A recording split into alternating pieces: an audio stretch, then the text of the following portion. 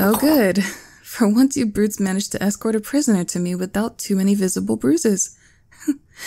Color me impressed. Set him down there. You may unshackle his wrist as well. I doubt some haggard street urchin possesses much of a threat to me, even with his hands unbound. Good. You're dismissed. Both of you. Leave us alone together. Did you not hear me? I said, leave us. I trust you don't need reminding of how much I hate to repeat myself.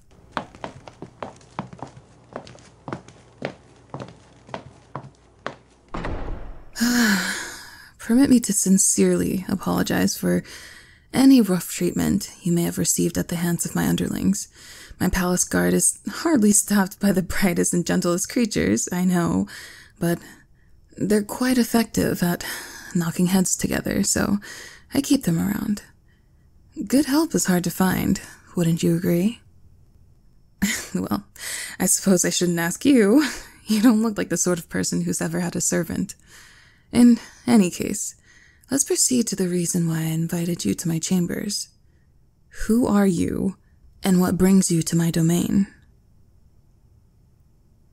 Your empress asked you a question. If you know what's good for you, you'll answer quickly and truthfully. I am known for many traits, but excessive patience has never been one of them. Who are you?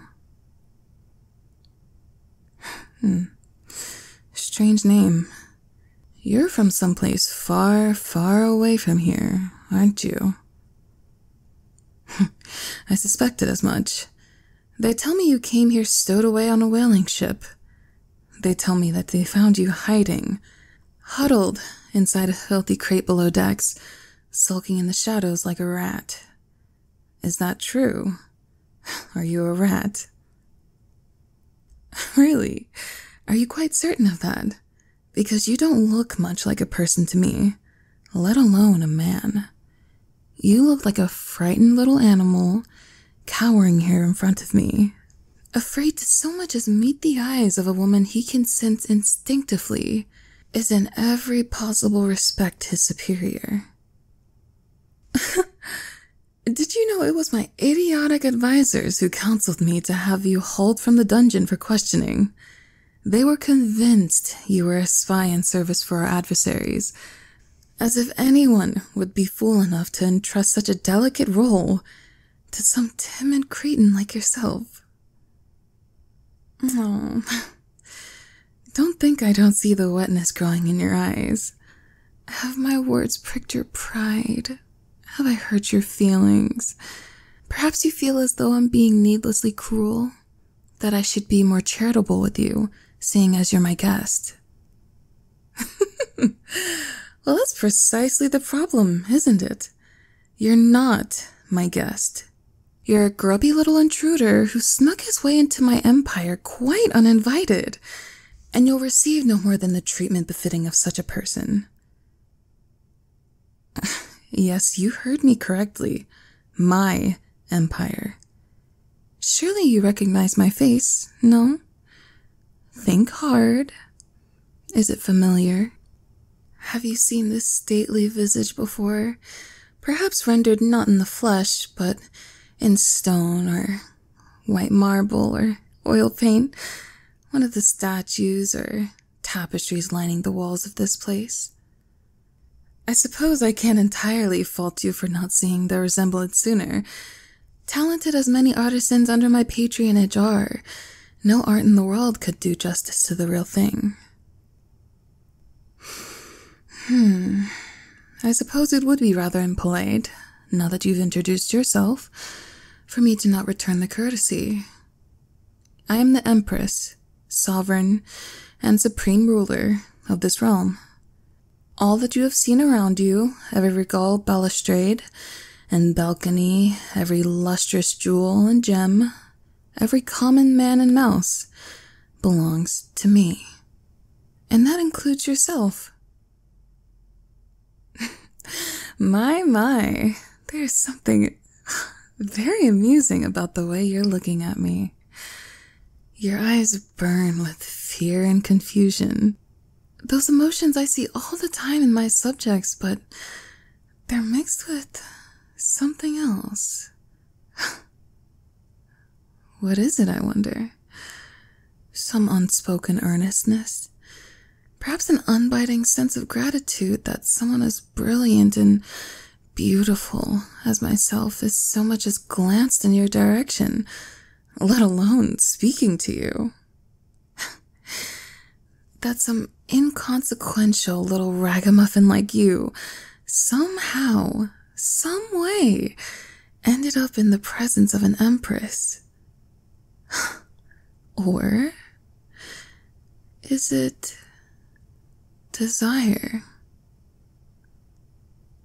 Oh, look at you squirm. Does hearing that make you uncomfortable? you know how serious your predicament is.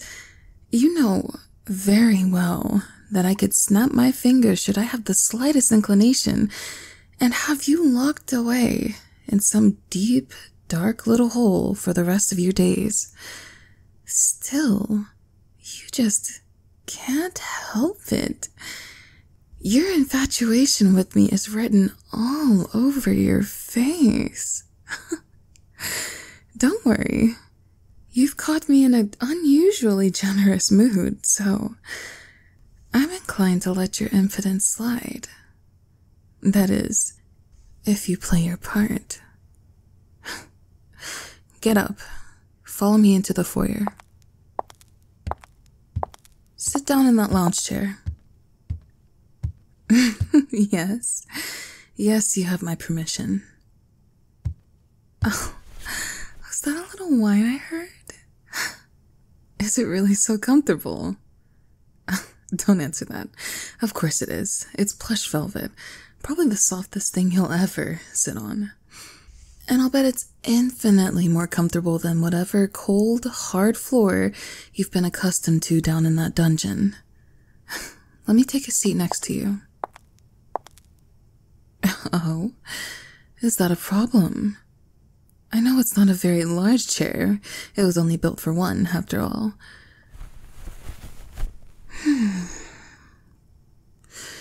I'm so close to you, I. I'm practically pressing into you. Are you feeling uncomfortable? no, that's right. Of course you aren't. Good boy. You know, I was initially planning to bring you up here just for a quick chat to appease my advisors and then throw you back down there. But now, against my better judgment, I'm beginning to think that I'd like to get to know you better. There's just something about your demeanor I can't help but be fond of, even from a poor lost thing like you. Would you like to share a meal with your Empress? You look unsure, as though you're wondering if this is all some elaborate trick. it's awfully cute, I'll concede that, but no trick, no trap. My offer is genuine. Though, of course, no one's forcing you to accept. It's entirely your choice. If you prefer, I can always just call my men and have them escort you back to that little cell I dragged you out of, and you can dine on whatever maggot ridden gruel they feed you down there instead. That's what a rat would choose, I suppose, dining on dirty scraps in the dark. But you said you weren't a rat, right? mm, that's what I thought. But that's not what you need to say. Yes, what? You say, yes, Empress, and try not to stammer this time. Oh, good boy. You're a quick learner. You might just have your uses after all. Here, you may finish what's on that plate. You interrupted me in the middle of my dinner, so there's a fair bit left to eat. Oh, no, no. Don't apologize, dear. Though I do appreciate the impulse. That servile tone suits you. no, I'm. I'm glad you interrupted me, truth be told. I was dreadfully bored before.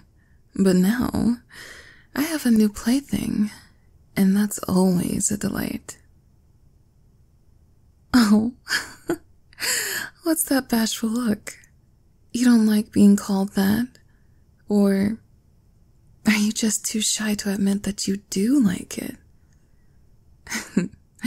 Either way, you do well to get accustomed to the title, because it's simply the truth now. I don't know what backwater you crawled out of, nor do I care, but you're in my world now, and everyone here is my plaything. But that need not be a bad thing. I treat my pets well, as long as they play their little roles and keep me entertained.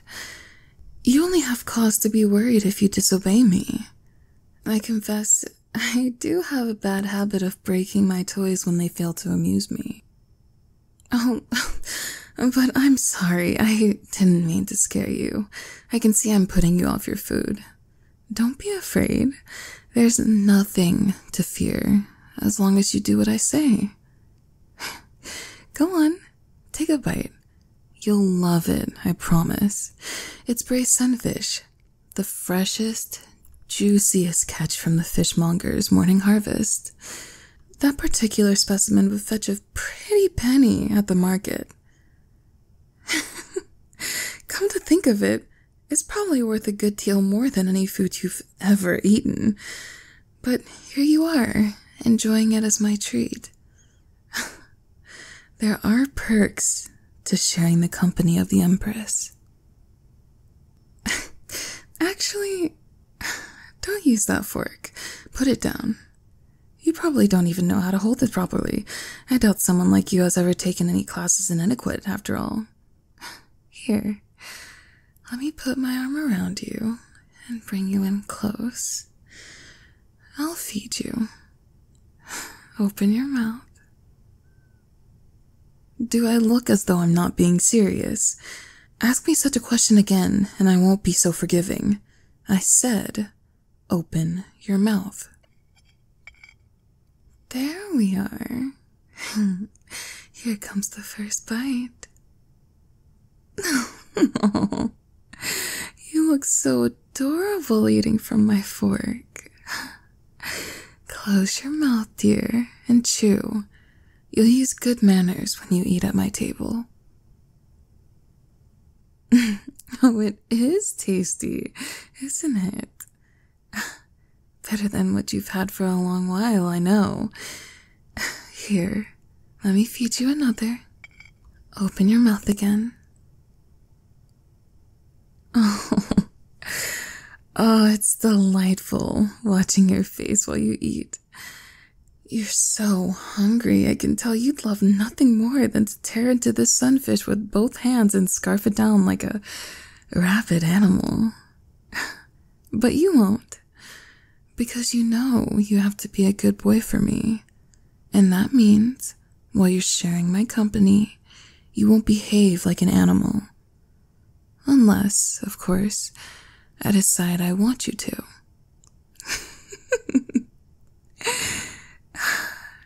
Mm. Do you like me rubbing your back with my other hand? Here, lean in closer. Wouldn't want to spill anything. Have another bite. Hmm. Do you need something to drink? Here, have some white wine. Have you ever drunk from a crystal goblet before? you don't have to answer that. Let me just raise it to your lips and drink as much as you like. It should loosen you up a little bit, too. Take care of that trembling in your hands. Oh, don't think I didn't notice that. I notice everything. Thirsty, aren't you? Oh, oh, Careful. Don't let it dribble down your chin. Let me clean you up. Oh, you clumsy boy. You stain your shirt. Well, not like it was in very presentable condition to begin with. Hmm. We'll need to get you something else to wear. And before that, we'll need to have you bathed. No, no, don't fuss. Don't worry. I'll allow you to finish your food first. Open your mouth. Here comes another bite. Oh, good boy. Oh, I can tell. You're special. You're so eager to please. If only so it'll earn you more fine silks to recline on and tantalizing food to eat. But that's not all you like, is it? You like the attention from me too, don't you? You like it when I rub your back and your hair and I stroke your cheek. Oh, don't bother being shy and looking away. Your face tells me at a glance all I need to know. You need not be embarrassed. You're hardly the only one who yearns for my company. Though you are one of the rare few to receive the pleasure. I only hope that you can appreciate how lucky you are that I've taken an interest in you. Hmm, perfect answer.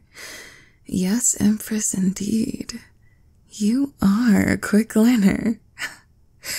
Until now, I was debating it in my mind, but I think I've made my decision. I'm going to keep you. You're going to be my new project. Do you know what that means? of course not. You don't know anything yet. It means I'm gonna fill that empty little head of yours with so many wonderful things. And if you behave and please me, maybe I'll fill your hands with a thing or two as well. It means that I'm going to take care of you. I'm going to have you cleaned up and made proper, and you're going to have to learn to serve me just as I want to be served. Here, don't speak, just have another bite. Actually, you'll eat it from my hand this time. You look a bit uncertain. Are you reluctant to eat from my fingers? no, of course you're not. There you go. Eat it all. Good. Consider this a microcosm of our future relationship if you stay in my good graces. I'll hold you close and feed you extravagant treats, and in exchange, you'll be good and loyal and obedient. Does that sound like a fair trade? oh, that. Hmm, that didn't sound quite enthusiastic, though. Come on, convince me. You know, if you won't provide me with sufficient cause to be certain of your loyalty, I might just be forced to change my mind about you not being a spy after all, and then.